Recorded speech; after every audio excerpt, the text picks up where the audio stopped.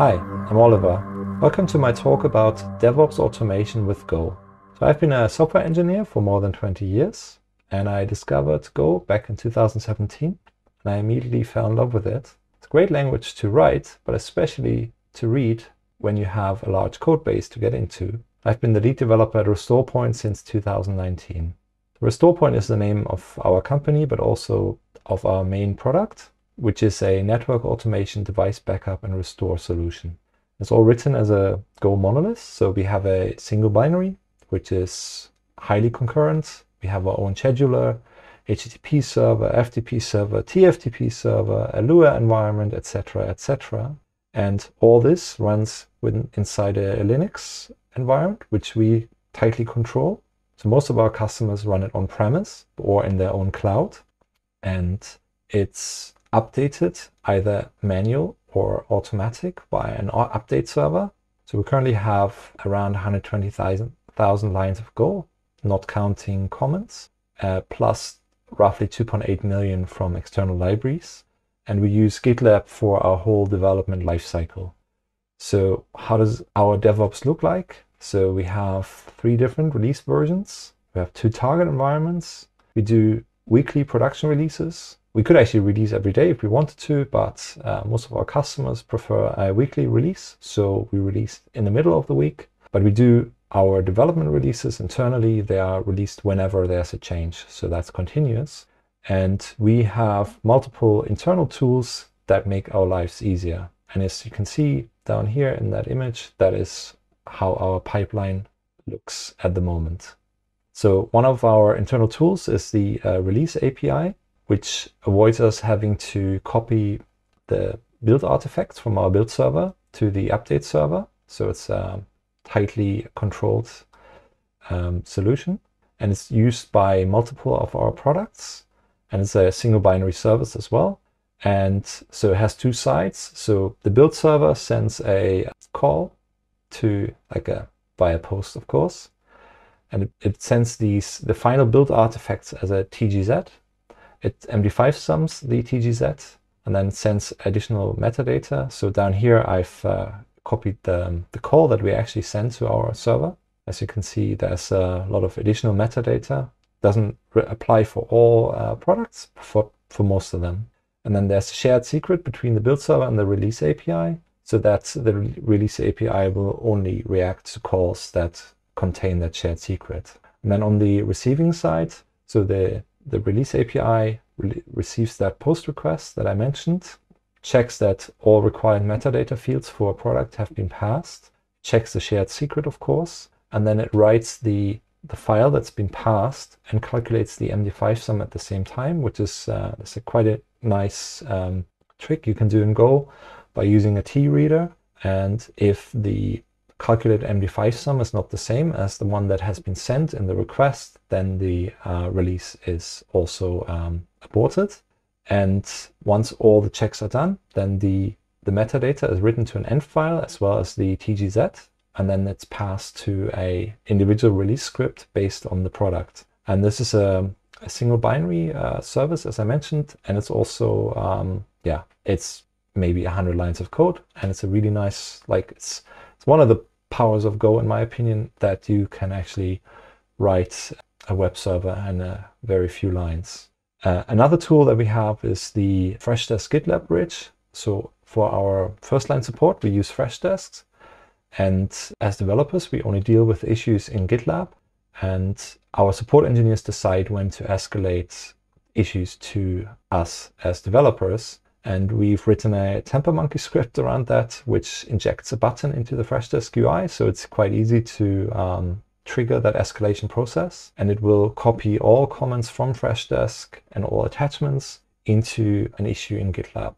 And it avoids creating duplicates as well. And also makes sure that both sides have a link. So you know which ones are have been escalated and which ones are not. I can show that real quick.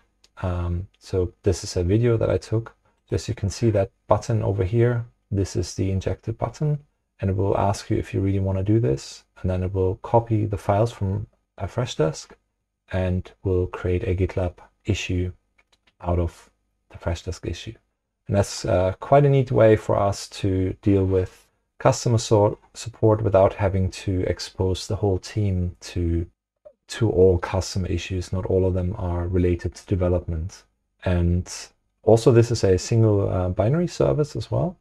And then we have a, another tool which we call the automatic version check. It warns us because we have more than one production release. We have three actually. It warns us if we are trying to merge mismatched versions. So if I want to say, um, as you can see here in the screenshot, we have a 5.3.1 version and a 5.4 version. I'm trying to merge that, then it will get, I get this warning as a comment. And the way it works with merge requests internally, you cannot merge a merge request unless you have resolved all issues, like all discussions on a merge request. So this will keep the merge request from being or accidentally merged. This works by a webhook. So this is also a service that's running on a server. And GitLab basically sends all merge requests or like signals all merge requests via webhook to this uh, endpoint. And then we use the GitLab API to check the version of the source and target branch. And then uh, we have an additional thing um, for automating our development workflow. So we use, uh, GitLab has these things called um, boards, and you can use different statuses, which are labels in uh, GitLab. And these labels, they are for, I mean, we use them for everything, for um, the area of the product it uh, applies to, if it's a UI or an API issue, if it's a Freshdesk ticket, for example, but also for process. So our GitLab issues always go through that uh, stage from open to to do to in development to in review to test to testing and then eventually they get closed and we just make sure that we automatically uh, transition issues when a merge request is opened so the only thing a developer has to do is to actually mention the number of a an gitlab issue in their merge request and then the ticket will automatically be set to be in review and when the merge request is merged then it's changed to test and this really reduces the amount of manual updates that we have to do. Because as developers, we tend to always forget these things, and but it's nice to have our issues in the right state so it's clear where we are, what the progress is, etc. And then uh, another thing that because we have a highly concurrent piece of software with a lot of lines of code, so we from time to time have data races, and Go has this nice way of allowing you to detect race conditions. So it will see if a variable is read and written to at the same time. And therefore, all of our internal development builds have race condition detection enabled, which is um, a bit of a performance, or it has an, a performance impact. Uh, so it, I think it increases CPU usage by, I can't remember, but it's, it, it definitely takes more CPU cycles, but especially memory. I think it doubles the memory usage. So we only do this for um, development builds internally. And the reason why we have to do this is because most of our uh, race conditions, they happen whenever a certain code path is hit. And uh, we have, course, fixed all the low hanging fruit, but there's always something uh, left somewhere. And also sometimes it's library code. So we have discovered quite a lot of race conditions in, in external libraries and then reported that as well. And so we have uh, a lot of internal boxes that replicate all the common usage scenarios that we have, and they run 24 7. And then they write a race condition error messages into their log files. And then we run a um, this race condition check tool once every day on these individual machines. And then they automatically, uh, if a race condition is found in logs, then it will automatically create a GitLab issue for each entry. And if uh, an entry already exists, then it will uh, add a comment instead to keep the issue fresh. So I copied here an example of how that looks like in a, in a log. So it starts with warning uh, colon data race. That's the start uh, marker. And then it usually goes like write at blah blah me uh, memory address and goroutine number number something. And then the the code, the, the function where this occurs. This is what we use as the title. And then everything below, so between the start and the end marker, we put into the issue. And this ends up looking like this. So I had to blur, of course, the details uh, for obvious reasons, but it will basically uh, show this. It shows uh, where it occurred, where the write was, where the, where the previous write was, where a read was, and uh, it will automatically label it with the race conditions tag, which is uh, important so we can actually see if that this was an actual race condition problem. Yeah, and so, and that's a really ni nice solution for that.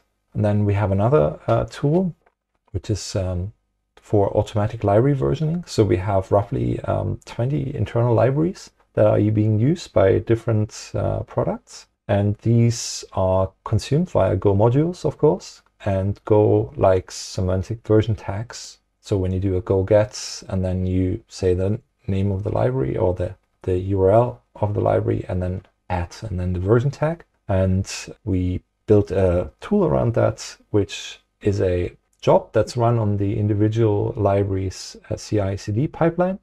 It's a tag job and it will basically, whenever the master branch of um, the library is updated, it will tag the library automatically using the last commit message as the tag or like description of the tag and increases the patch level of uh, the previous tag and therefore create a new version, which then can be used in um, the product that is using the library.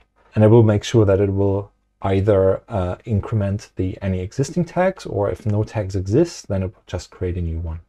Yeah, and this is it. So this is how we automate our own um, DevOps at RestorePoint.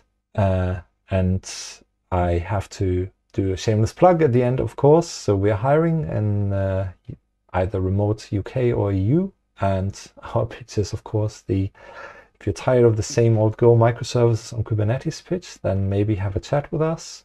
Uh, as I explained, we ship an on-premise Go monolith uh, wrapped in a Linux box every week, and our customers love it.